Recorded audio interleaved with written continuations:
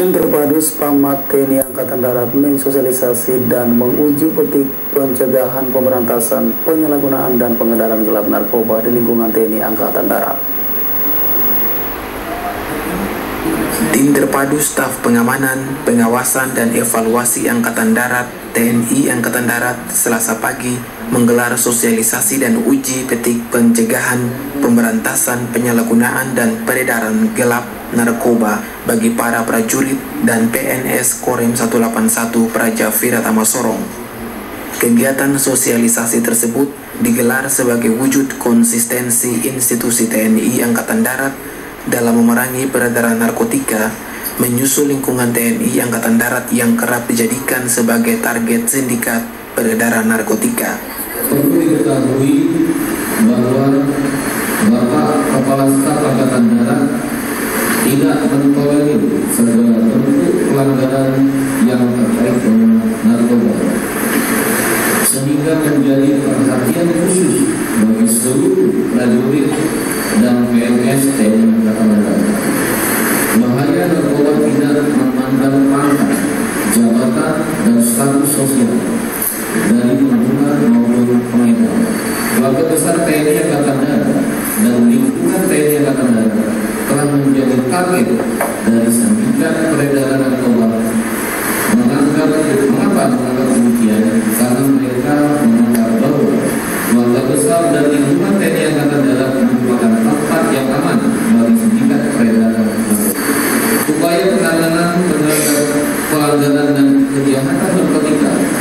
dilakukan secara berkesinambungan dan masif, melibatkan semua pihak yang berkepentingan sehingga diperlukan kerjasama, komitmen, dan konsistensi dari semua instansi, termasuk TNI Angkatan Darat.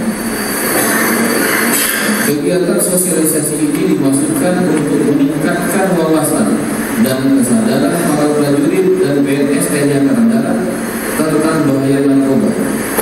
Sedangkan uji petik dilaksanakan untuk mengetahui sampai sejauh mana tingkat kepatuhan hukum di lingkungan prajurit dan PNS TNI Angkatan Darat untuk tidak terlibat dan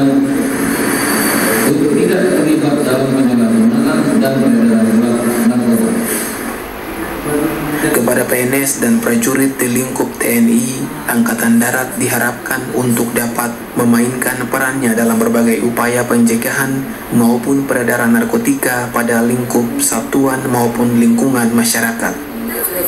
Selain pemaparan materi, kegiatan sosialisasi diisi dengan pemeriksaan tes urin anggota yang hadir. Anggreni Sumbung, CWM Channel.